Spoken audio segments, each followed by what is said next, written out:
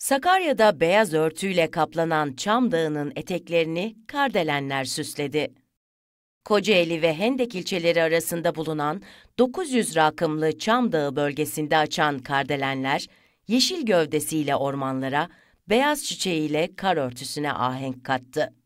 Kocaeli ilçesine bağlı yüksek rakımlı kırsal mahallelerinde etkili olan kar yağışı, yapıların çatılarını ve tarım arazilerini beyaz örtüyle kapladı. Hava sıcaklığının sıfırın altında 3 derece ölçüldüğü Çam Dağı bölgesindeki derelerde buz sarkıtları oluştu.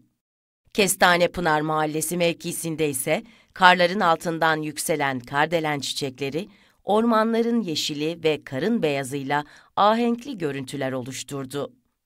Bölgedeki kartpostallık manzaralar havadan da görüntülendi.